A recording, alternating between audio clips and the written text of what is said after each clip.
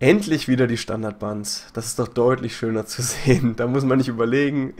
Nee, Quatsch. Also, eigentlich mag ich schon, wenn ein bisschen, ein bisschen Variation in den Bands auch drin ist. Aber gut. Wir haben Zeratul gebannt von SK Gaming. Whiskey Coker holt sich den Ban of Stitches. Und First Pick gibt's von SK, nämlich Tassada. Whiskey Coker antwortet mit, oh, einer interessanten Wahl. Arthas und Muradin. Das ist so eine Sache, die hat halt Alternate sehr, sehr hart zukommen lassen. Weil die hatten dann immer das Problem, okay, wir haben keine von den guten Kriegern. Ähm, diesmal ist auch wieder Stitches rausgenommen. Und ja, was, nimmst du dann? Tyrael hat jetzt ein leichtes Comeback gemacht und den sehen wir dann auch bei SK. Ist natürlich ein bisschen dumm. Ich müsste hier irgendwie das verdecken können, dass ihr es auch richtig in der Reihenfolge und ähm, in der Reihenfolge seht, wie der Draft äh, von Dutton gegangen ist. Aber es ist halt 1, 2, 2, 2, 2, 1. Also Standardpick, der eigentlich fast von allen Ligen eingesetzt wird. Ähm, wie lange geht der Cast noch? Na, es gibt noch drei Spiele. Das heißt, so ungefähr anderthalb Stunden. Nach dem nächsten Spiel würde ich nochmal einen Key raushauen. Und ähm, wenn dann nochmal ein paar mehr äh, Viewer auf den Stream kommen, würde ich nochmal nach den letzten beiden Spielen einen Key raushauen. Ähm, Zero, ich sag Bescheid, wenn es den nächsten Raffle gibt. Also ich mache das dann zwischen dem nächsten Spiel, dass ihr quasi im Spiel Zeit habt, den Raffle zu machen. Und es werden auch in den nächsten Tagen Keys rausgegeben. Ich habe noch eine ganze Menge Keys. Das heißt, ähm, da haben wir noch über die nächsten Tage und Wochen Zeit, Keys rauszuhauen. Gut, ähm, ja. So, als Antwort auf Arthas und Muradin kommt Valor und Uther. Gut, sie wissen, okay, einen guten Warrior kriegen wir eh nicht mehr. Das heißt, die können sie sich aufsparen den Warrior picken, stattdessen schauen, dass sie halt ein paar gute Assassins klauen. Ähm, Uther hm, finde ich okay, weil sie halt darauf bauen müssen, einen guten CC schon früh zu kriegen. Und da äh, CC, wenn du halt die Oberhand an Assassinen hast, ist dann Uther doch ein bisschen besser. Und dann die Antwort von Whiskey Coker, Brightwing und Sergeant Hammer. Absolut in Ordnung, kann man nichts gegen sagen. Thrall und Tychus, ja, Thrall, man sieht halt die Strategie von SK ist auf jeden Fall orientiert äh, an den Assassins ähm, und dann halt eben mit Uther und Tychus als äh, CC und als Initiator für die Kämpfe. Es ist eine gute Wahl, weil das kann sich halt sehr schön ergänzen. Kann man halt einen guten Doppel-CC raushauen und ähm, mit Thrall kann man dann schönes Zoning betreiben. Das können wir uns dann nachher hoffentlich auch wieder in den Replays angucken. Ähm, ja, und Whiskey Coker als Final Pick dann Tychus. Sehr interessant, dass Tychus als letzter gepickt wird. Das sagt mir so ein bisschen, entweder ist Whiskey Coker und SK nicht, ähm, ja, nicht so beliebt bei, äh, mit, mit Tychus oder nicht so gut mit Tychus. Oder er ist aus dem Meta jetzt schon rausgefallen und hat einen würdigen Ersatz gefunden, eben mit, mit anderen Helden. Mein Nazibo ist ein bisschen in die Bresche gesprungen. Äh, Valor war ja ohnehin immer schon, schon sehr, sehr, sehr stark. Äh, Sergeant Hammer ist in die Bresche gesprungen. Trommel mal Leute zusammen. Sehr gut. Ähm, ich warte immer noch auf das Replay. Da hat sich bis jetzt noch nicht so richtig getan. Ich kann euch schon mal die nächste Map verraten. Ist vielleicht für die, für die Picks auch nochmal interessant im Hinterkopf zu behalten, denn es ist Garden of Terror. Und ähm, gerade dann in Garden of Terror macht äh, Sergeant Hammer doch Sinn. Ähm, ich meine, die macht ohnehin Sinn. Was mich dann doch ein bisschen erstaunt, kein Feldstat zu sehen, weil es ist eine große Map. Da hilft Feldstat einfach schön. Da kann man sich mal so ein paar von den sicheren Seats ähm, sichern. Und da, da hilft ein Felsted ganz gut, aber immerhin ein bisschen mehr Mobilität auf Seiten von Whiskey Coker durch Brightwing. Gefällt mir gut. Und wie gesagt, vorhin haben sie ja gegen. Welches Team war das nochmal? Ach, ich bin so grottig, was das angeht. Whiskey Coker gegen El Nexo war das sogar, ähm, wo wir das Spiel von letzter Woche noch gecastet haben da hat sich Whiskey Coker einfach verdammt gut geschlagen. Also gerade im Early Game hätte ich nie von ihnen erwartet, dass sie das so gut hinkriegen. Und ähm, mit dem Lineup, was sie jetzt haben, denke ich, stehen sie auch ihren Mann.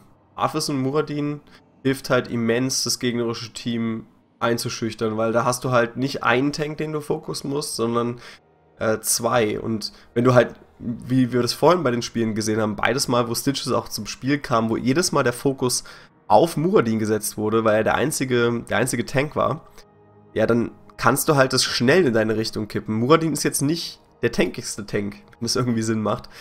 Dementsprechend den rausgefokust und schon hast du das, den kompletten Teamfight unter Kontrolle. Da kann halt nicht mehr so viel kommen. Da, ich meine, gut, eine, eine Zagara hilft dann auf, auf deiner Seite noch, wenn du, wenn du da einen guten Moor setzen kannst und äh, irgendwie das andere Team wieder so ein bisschen ähm, wieder kontrollieren kannst, da mal wieder zwei, drei Leute rausnehmen für die Sekunden.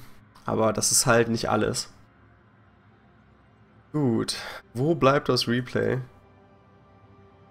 Ah, es sollte jetzt da sein. Ich weiß nicht, ob Kaldor... Ich weiß nicht, ob Kaldor mit Delay streamt. Eigentlich müsste er. Sonst sollten wir jetzt theoretisch das Replay gleich kriegen. Stressen mal den lieben Irka nochmal kurz. Quality Mojo, darfst du Französisch sprechen? Puh. Naja, wenn du der Einzige bist, kannst du gerne mit dir Französisch sprechen. Es gibt auch noch einen französischen Stream. Äh, der läuft auf, ich glaube, Team unterstrich äh, AAA. Also dreimal A. Komm schon, Irka. Muss ich mal Kaldor anhauen. Im Notfall. Aber ich hoffe einfach mal, dass Irka... ja, genau. Sprechen darfst du. Aber ob jemand reagiert, eine ganz andere Sache. Ah, thanks.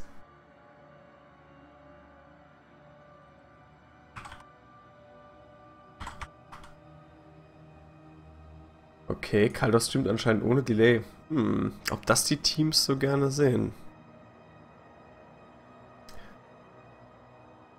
Na komm schon. Garden of Terror. Keine Werbung für die Konkurrenz. Ach Quatsch. Französische Konkurrenz. Los, komm schon. Start das Replay. Also eigentlich müssten wir das Replay gleich haben. Aber irgendwie... Doch, jetzt geht's so ein bisschen voran. Ja, jetzt kommt's. Irgendwie hat er gerade eine sehr holzige Leitung.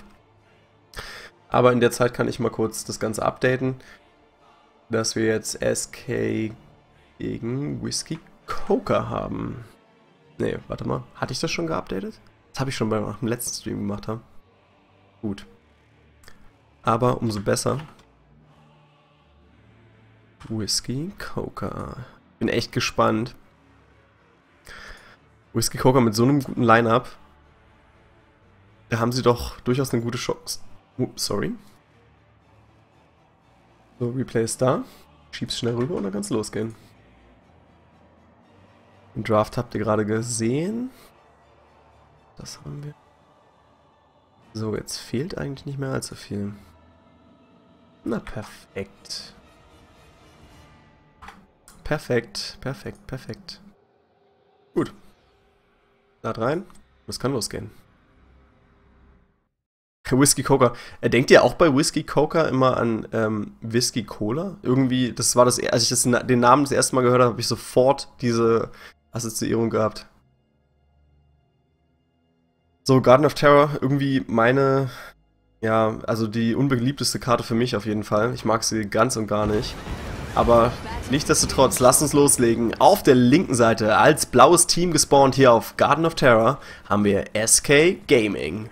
Und sie haben Araragi auf Tychus, Bakery spielt Valor, Samani spielt Thrall, Beezy ist ähm, mit Tesla unterwegs und Link spielt Uther. Ihre Gegner auf der rechten Seite als rotes Team gespawnt. Team Whiskey Coca. Sie haben Kumato Boss als Brightwing, Snitch auf Arthas unterwegs, Snat, äh, Nasty spielt hier Sergeant Hammer und in der Midlane, da haben wir F on top auf Muradin, wie schon im ersten Spiel heute Abend. Und in der Botlane, da ist Roll und er spielt Tychus. Und ich glaube, auch das hatten wir schon heute. So, da versucht sich SK doch direkt in eine Ganking-Position zu bewegen. Und wir haben einen Triple-Stack hier oben auf Seiten von Whiskey Coca. Das ist ein sehr, sehr potenter Triple-Stack. Der ist durchaus überlebensfähig und hat auch ein bisschen CC. Also da muss, muss äh, Thrall auf jeden Fall aufpassen. Aber auch Tychus muss hier unten aufpassen. Denn auch hier ist ein bisschen was an CC da. und einiges an Schaden mit Bakery und BZ. Also da muss er sich durchaus in Acht nehmen. Und da sehen wir auch schon, die können hier auch schon direkt den ersten Siege Damage raushauen auf den Tower. Kümmert sich da gar nicht, dass er schon Schaden nimmt. Ja, und der Tower schon die Hälfte an Energie verloren. Hier oben sieht es ganz ähnlich aus. Ja, auch da der Tower schon auf die Hälfte der Energie runter und auch Samoni muss aufpassen. Da hilft halt so ein Siege Tank einfach immens aus. Der bleibt einfach in der Range drin. Sie müssen einfach nur die Minions aufhalten und das machen sie auch wunderbar. Hintere Minion Wave kommt noch mit nach. Und Samani wird jetzt hier direkt schon seinen ersten Tower verlieren. Dementsprechend sehr, sehr guter Siege Damage bisher auf Seiten von Whiskey Coker. Top Tower fällt. Ja, 5000. Unten äh, 4300. Oh, Tesla hat hier gerade Weller überholt. Gar nicht mal so schlecht. Und Samani verliert jetzt hier demnächst seine schützende Mauer und seinen schützenden Turm. Aber zuerst kommt die Nacht und damit ist es an der Zeit, die Samen der Pflanzen zu sammeln. Natürlich auf der linken Seite hier ähm, diese paar Seeds, die man eigentlich fast kostenlos kriegt, denn die bieten nicht wirklich Paroli. Die kleinen, die cleart man zuerst und dann wartet man auf sein Team, um den großen Garden Terror anzugehen. Und so machen das hier auch wunderbar. Währenddessen Brightwing bleibt in der Lane, hält Arthas davon ab, hier irgendwie ein bisschen noch entgegenzuhalten. Und hier unten, da schnappt sich SK Gaming den ersten Garden Terror. Ah, Thrall ist unter Problemen, leichter Beschuss, aber das Tor war halt noch nicht weg. Sonst hätten sie, glaube ich, den Kill gekriegt mit einem guten Crit Rise, das hier äh, Kumato Boss gespielt hat. Und jetzt holen sie sich doch den Garden Terror. Aber Muradin fehlt da. Trotz allem, ich finde die Strategie, die hier Whiskey Hooker spielt, gar nicht mal so schlecht. Weil ähm, sie dadurch halt die XP in den Lanes halten. Sie hatten Brightwing die ganze Zeit in Lane, sie hatten Muradin in Lane und erst jetzt wechseln sie rüber, verlieren dadurch halt deutlich weniger XP und haben schon einen ganz guten Vorteil sich rausgearbeitet. So, und damit auch schon beide Teams jetzt hier auf 90 Seeds. Ganz even. Lange nicht mehr gesehen sowas. Und Wall hält hier unten das bis jetzt ganz gut, aber jetzt hat ja der Turm schon keine Munition mehr. Das Gate ist auch schon fast down, das heißt, er muss sich deutlich defensiver stellen, sonst hat er, ähm, hat er eine große Gefahr hier mit Link to Bakery und Beezy am Start. Ja, stellt sich natürlich auch tie viel tiefer, stellt sich da direkt ans Fort ran. Das hat noch ein bisschen Munition, dementsprechend äh, ist er da halbwegs sicher. Und beide Teams holen sich jetzt hier im Bruiser Camp. Oben ist es schon genommen auf Seiten von Whiskey. Und ich glaube, damit äh, können sie jetzt durchaus einiges an Schaden austeilen aufs Fort. Und Samani muss sich in Acht nehmen. Und gehen sie direkt mit dem Triple Stack und Bruisern rein. Es sieht ganz danach aus. Ich möchte jetzt hier Samani irgendwie rauslocken. Nasty lockt ihn an. Da kommt der Chain Lightning, macht ein bisschen was an Schaden. Sie nehmen hier auch natürlich schön die, die ähm, Mauer noch am Rand raus, einfach um Sicht zu denyen. Und Samani, ja, der wagt sich einfach mitten rein. Noch hat den seinen Hut nicht wieder. Jetzt ist er gleich wieder verfügbar. 8 Sekunden noch. Ja, aber die Bruiser schon fast erledigt und da kommt noch das restliche Team rein. SK überlässt hier nichts dem Zufall. Kümmern sich endgültig hier um die Bruiser und damit ja, konnten sie das Fort nochmal retten, aber ich meine, da sind keine Türme mehr, da sind keine, keinerlei Mauern mehr. Dementsprechend äh, ist die Gefahr halt immer wieder da, dass Whiskey Coker da mal schnell vorbeischaut und schnell den Schaden raushaut, um das Fort rauszunehmen. Aber beide Teams jetzt äh, sehr ausgeglichen, was ihre Level angeht und auch die Erfahrungspunkte fast, fast gleich auf. Schauen wir uns mal die, die Skills an. Äh, wir haben Multishot bei Valor, äh, hier oben bei Tychus Protection in Death damit kriegen seine Verbündeten noch ein kleines Schild, wenn er stirbt. Dann Amplified Healing. Und Reciprocate gibt es da unten noch. Uh, sehr, sehr gut das dann hier von F on top, aber es reicht nicht ganz aus. Da kam der Root von Snitch ein bisschen zu spät. Und ja, Whiskey Coker, die gehen hier gut auf Heilung. First Aid mit rausgehauen auf äh, Tychus und auf Sergeant Hammer. Also ein sehr, sehr gutes Sustain-Bild.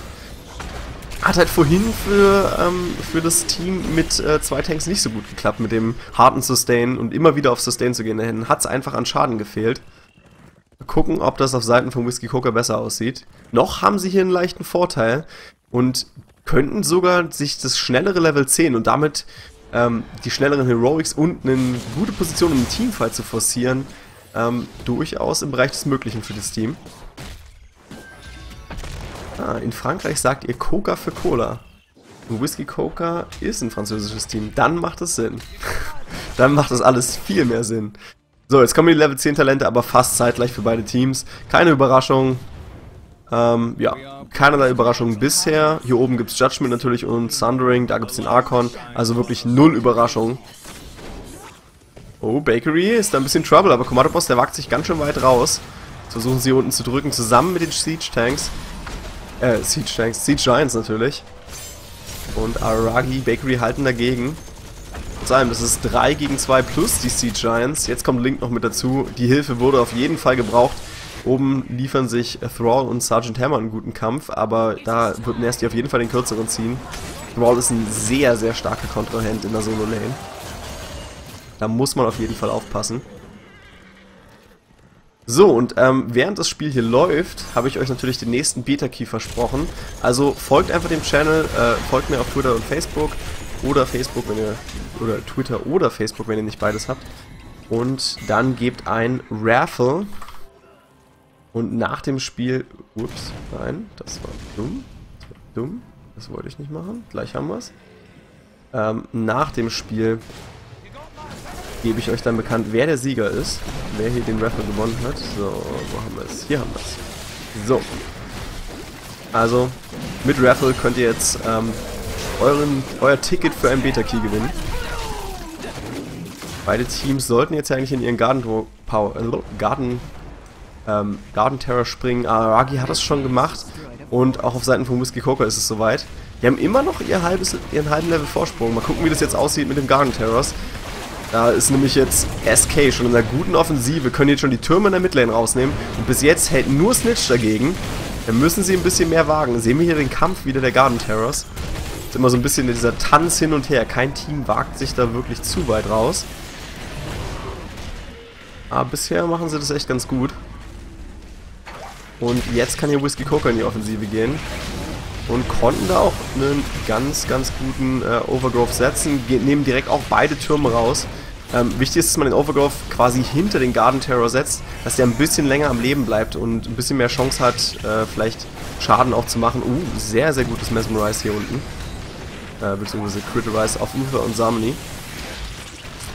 Und Snitch hat halt noch ein paar Sekunden übrig, hat aber auch viel, viel Energie verloren. Währenddessen drückt hier unten Aragi auch weit durch. Das Fort nimmt doch massig Schaden. Das ist halt das Problem, wenn man nicht mit diesem Overgrowth klarkommt, äh, und da irgendwie einen hinschickt, um, das, um diesen Pot zu zerstören, dann macht er halt einfach krass viel Schaden. Das heißt, das ist die Alternative zu diesem Garden Terror Kampf, dass halt einfach einer die Lane komplett wechselt. So, und Snitch, will er hier noch was wagen? Ne, der ist komplett, komplett raus. Er hat nur noch 6 Sekunden übrig. Uh, er von Top, möchte was versuchen. Gehen sie nochmal rauf? Ja, schön Aragi raus, rausgefokust. Da kommt das Sundering nochmal, drückt hier Nasty weg. Aber Aragi nimmt super viel Schaden. F on top versucht er nochmal rauszuspringen. Roll springt auch davon. Tür geht drauf, aber auch Muradin geht hier drauf. Jetzt müssen sie aufpassen. Snitch ist der Einzige, das da unten noch auffällt. Uther wird rausgefokust. Kommt hier Snitch schon mal davon. Es sieht ganz danach aus, als wenn er nochmal hochgeheilt wird. Alle so extrem niedrig. Und wow, der Doppelkill hier auf Seiten von Sergeant Hammer. Wunderschön gemacht. Whiskey Coker. Das erste Mal, dass sie hier wirklich eine sehr, sehr schöne Aktion bringen. Die Jungs lernen es langsam. Sie kommen hier an in den Top-Ligen. Das hilft natürlich, wenn man in der HCL und in der HPL spielt, äh, dass man halt einfach äh, die Erfahrung langsam gewinnt und da auch äh, mithalten kann und halt gegen diese richtig guten Teams spielt. Das können sie das Bruiser Camp klauen, vielleicht auch das Siege Camp, aber die Timer waren halt noch ein bisschen niedrig. Trotz allem, das sind zwei Level Vorsprung gerade für Whiskey Coker. Gar nicht mal so, so schlecht. Schauen wir mal an, was sie hier so an, an Talenten gewählt haben. Burning Rage haben wir hier für Tyrael. Da unten gibt es den Shrink Ray von Tassada. Den sieht man leider zu selten. Ich finde den eigentlich sehr, sehr stark. Relentless für Tychus, Rewind natürlich äh, für Muradin und auch Brightwing. Da gibt es den Giant Killer für Sergeant Hammer und das Spell Shield für Arthas. Und jetzt macht äh, Whiskey Coca eine sehr interessante Sache, weil sie verteilen sich auf der Karte. Das ist extrem gefährlich, was sie machen. Verlieren auch direkt das Fort dafür. Ähm, können aber sich Bruiser halt oben sichern. Hatten ja unten schon die Bruiser sich geholt. Äh, beziehungsweise die Siege Giants und die Bruiser äh, vom gegnerischen Team. Aber sie halten halt den Druck aufrecht. Das gefällt mir sehr, sehr gut. Jetzt müssen sie wieder zusammenkämpfen und vielleicht auch noch den nächsten Teamfight an sich reißen. Sie sind fast Level 16. Die paar Sekunden müssen sie noch abwarten. Jetzt sind sie Level 16. Was kommt da? Executioner auf Seiten von Sergeant Hammer. Criterize bei Redwing.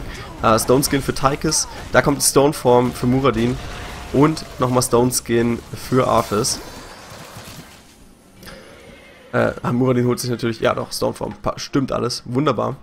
Ja, das Problem ist, jetzt ist Nacht, jetzt wollen sie eigentlich die Seeds holen, aber sie können trotzdem versuchen, den Kampf zu forcieren. Luther wurde schon mal rausge, äh, rausgebrandet. Und Sameni nimmt da einiges an Schaden, wird direkt mit dem Critorize rausgenommen. Aber Araragi kommt rein mit Judgment, ist jetzt komplett gefangen hier in der Mitte zwischen allen. Ein guter Bodyblock von Nasty. Und da wird auch Tyrell rausgenommen. Kann er vielleicht noch eine Bombe setzen, aber Snitch, den juckt das nicht allzu sehr. Nasty zündet nochmal schnell First Aid. Und da oben wird auch die Jagd angesetzt, aber ich glaube, sie kommen ein bisschen zu spät. Können sich jetzt vielleicht noch eine Rotation wagen, aber nee, es geht einfach darum, jetzt noch die nächsten Seeds zu kriegen. Garden Terror wächst schon. Mal gucken, wer hier zurückgeht. Bin ich sehr gespannt. Könnte Muradin sein, aber nee, es ist Arthas. Der hält natürlich auch einiges aus, kommt da auch davon. Oh, Link versucht hier irgendwie ähm, das Ganze zu stoppen. Ich weiß nicht, ob sie ihn gespottet haben. Sieht nicht so aus. Ne, das haben sie irgendwie gar nicht mitbekommen, dass Link damit am Start ist. Und so kriegen sie jetzt hier die nächsten Seeds. Vielleicht schaffen sie es bei SK sogar zu verhindern, dass die noch die äh, restlichen sechs kriegen. Das wäre natürlich ganz immens. Bakery versucht es auf die rechte Seite ran. Ah, sehr gut hier. Schon mit dem Criterize auf der rechten Seite. Das läuft verdammt gut. Und Snitch, ja, wieder gut Overgrowth gesetzt hinterm Garden Terror, sodass er nicht so viel Schaden nimmt. Minions aufgehalten, äh, Schüsse eingefangen. Also dieses Placement ist halt extrem wichtig wenn man wirklich das, Mass das Beste rausholen will. Und ja, sie können es verhindern. Ähm, ja, sie können es verhindern. Keinem Blue Team Terror, denen fehlen einfach die sechs Seeds. Und die schnappen sich jetzt hier alle Whisky Coker. Die haben sogar den nächsten Garden Terror schon verfügbar. Das heißt, sie können ihren Vorsprung weiter ausbauen. Ich hätte es nie gedacht, dass Whisky Coker mal in so eine Situation kommt. Und ich gönn's ihnen absolut. Die haben einen super Start hingelegt. Und haben auch einen sehr, sehr schönen Draft rausgeholt. Und dann sowas hinzukriegen, das gönne ich, gönn ich ihnen. Aber können sie jetzt hier noch mehr ausrichten? Wir müssen natürlich aufpassen, dass sie jetzt nicht zu weit sich vorwagen. Sie haben nur einen Level-Vorsprung. Level 16, da haben wir Blood for Blood auf Tyrael, auf Valor. Second Strike für Tessida, Tempest Fury für Brawl und Imposing Presence für Uther. Da ist hier schon einiges an Schaden genommen. Dementsprechend müssen sie sich jetzt hier einfach zurückwagen. Also gehen hier gar kein Risiko ein. Zwei Level Vorsprung ist gut, aber ja, warum, warum zu viel riskieren? Sie haben ja noch einen Garden Terror übrig. Jetzt müssen sie nur aufpassen, dass da nicht irgendwie noch ein Engagement kommt auf Seiten von SK. Die freuen sich natürlich, wenn sie irgendwie noch einen kostenlosen Helden abgreifen können und damit einen guten Start in den nächsten Teamfight haben. Aber das passiert hier nicht. Oh, wobei, wurden sie gesichtet? Ich glaube nicht. Die Giant Camp wurde genommen, das heißt kein Stil mehr möglich. Er von Top Steht da sehr, sehr offensiv, geht auch direkt in die Avatar-Form, versucht Sameni rauszunehmen, aber Link ist der Erste, der drauf geht. Brightwing fällt allerdings auf Seiten von Whiskey Coker. Snitch auch schon sehr, sehr hart angeschlagen. Aragi versucht auf der linken Seite jetzt an Snitch ranzukommen, versucht irgendwie auch auf Roll zu gehen, der soll den Fokus hier abkriegen, aber Aragi ist jetzt hier in der Mitte von allen, geht auch direkt drauf, aber Muradin kommt ja nochmal davon, kriegt noch eine Heilung ab, ja, er kommt davon, aber Arthas fällt und da oben Nasty, ja, der kann auch nochmal entkommen. Trotz allem sehr, sehr gut gehalten hier von SK. 2 gegen 2. Und das, obwohl sie hier zwei Level hinten waren äh, zu Beginn des Kampfes. Also ein sehr, sehr guter Teamfight hier für SK Gaming. Hätte ich nicht gedacht, dass sie sich da so gut halten können. Aber es war halt auch ein bisschen überraschend. Und äh, Tyriel hat einen sehr, sehr guten Job gemacht, so lange drauf zu bleiben und schön das Ganze zu zonen. Das schauen wir uns nachher dann nochmal im Replay an.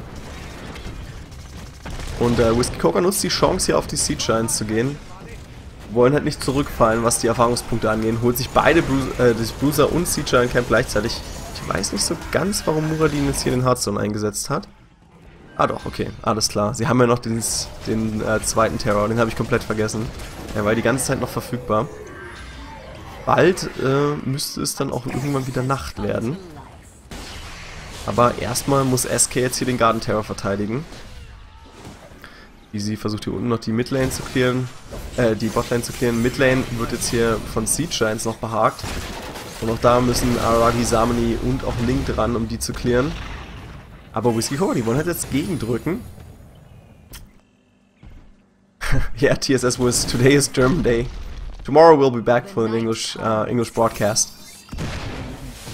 So, der Garden Terror versucht jetzt hier auf der Botlane was zu reißen. Und jetzt kriegt er hier endlich auch das, äh, ja, die Wall weg. Und das war extrem wichtig, weil jetzt können sie wirklich auch einen Teamfight eingehen. Sind auf Level 19, haben einen guten Level-Vorsprung. Jetzt fehlt es halt nur am ersten Engage. Und der könnte halt kommen, wenn hier einer von den Helden mal in, in der Criterize-Form ist. Aber bis jetzt hat es nicht so gut geklappt. Bis jetzt hält SK schön dagegen. Läuft nicht rein, kann auch gut immer ähm, den Pot aufhalten. Also auf dem Keep bis jetzt kaum Schaden ausgeteilt.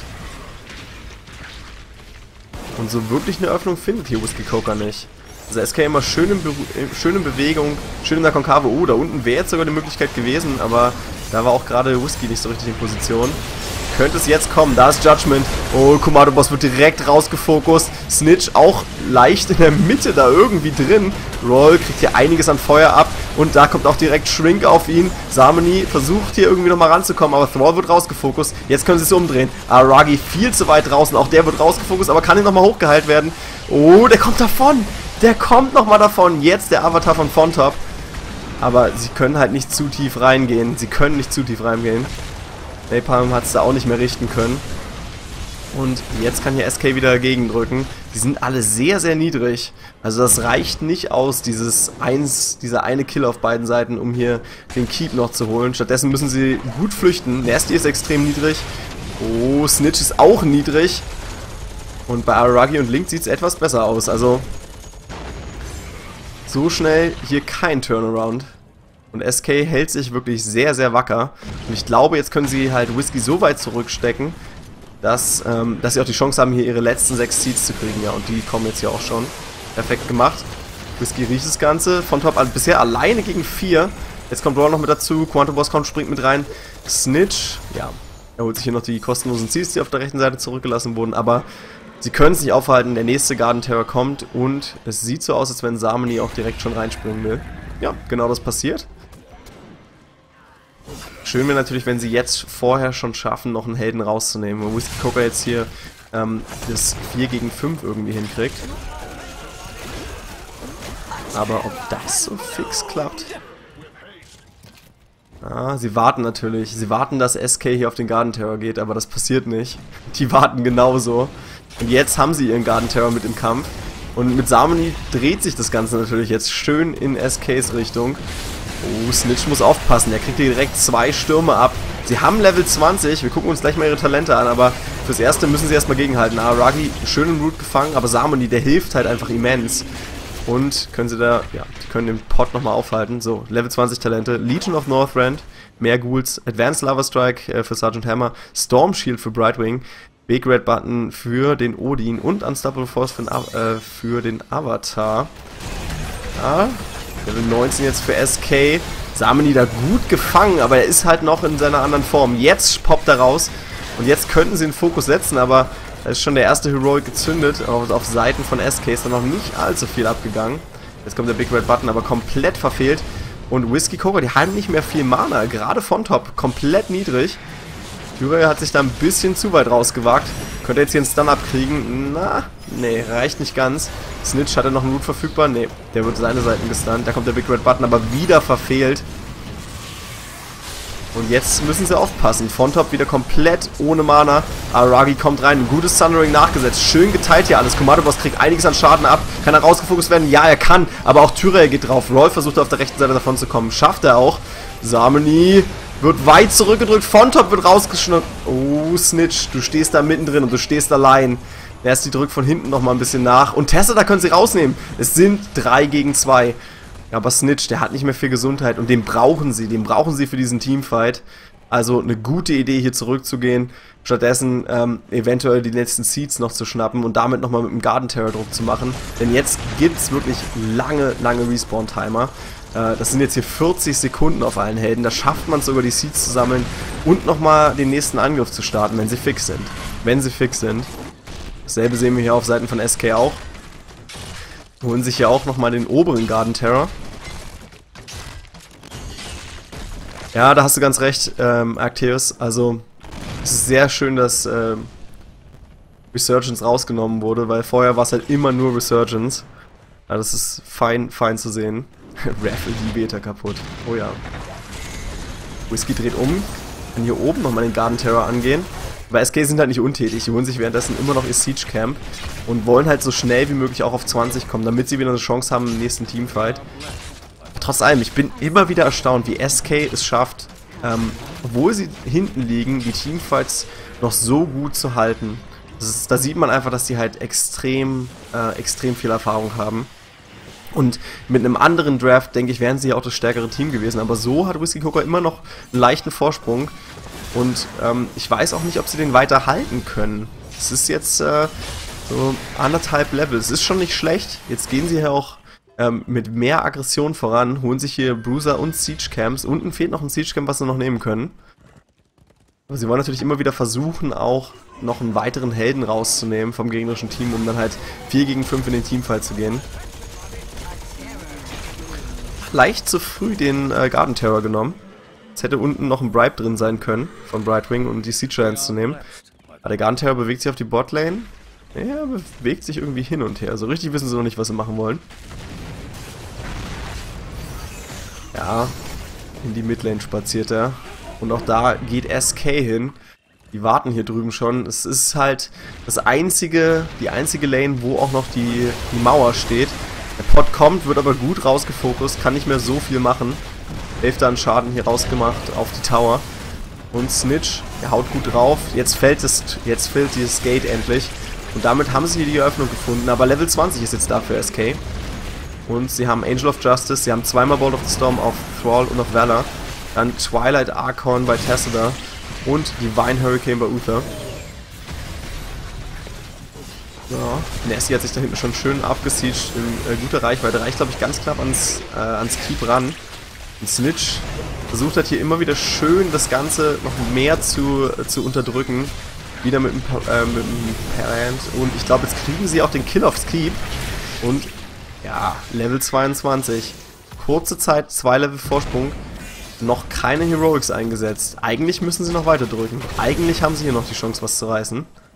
Alle noch mehr oder weniger mit voller Mana unterwegs. Wundert mich ein bisschen, dass sie jetzt doch das Ganze umdrehen lassen. Aragi, zu weit rausgewagt, da kommt der Root. Und sie gehen nochmal oben drauf, aber Uther kommt reingerannt mit einem schönen CC. Und Aragi auf der linken Seite kann er rausgefokust werden von den Ghouls. Nee, sieht nicht so aus. Doch, jetzt springt er nochmal rein. Will nochmal massiv Schaden rausholen, aber das passiert nicht. Tessera fällt stattdessen. Und da oben Link und Samani komplett abgeschlossen. Samani wird rausgefokust. Sie wollten auf Nasty gehen, aber das hat absolut nicht geklappt. Roll ist extrem niedrig, kriegt nochmal einen Cleanse ab und äh, Uther haut dann den letzten Schuss drauf. Vella ist die einzige, die jetzt hier noch am Leben ist. Und ich glaube, das könnte hier fast Game sein. Ich glaube, Whiskey Coker kann jetzt hier das nächste Keep kriegen und dann einfach auf den Core gehen. Das sind 50 Sekunden Respawn-Timer gerade auf Seiten von SK. Das ist immens, das ist ultra lang. Es sind schon Katapulte unten mit dabei, die Whisky Coker halten. Das ist ihr erster Sieg, wenn sie das jetzt hier schaffen und ich glaube, sie kriegen es hin. Und das gegen SK Gaming. Das hätte vor einem Monat, das hätte vor zwei Wochen, das hätte letzte Woche niemand gedacht. Whisky Coker holt sich hier den Sieg. Wow, ich glaube, die Jungs, die müssen sich wirklich extrem freuen. Die sind in einer richtig guten Stimmung.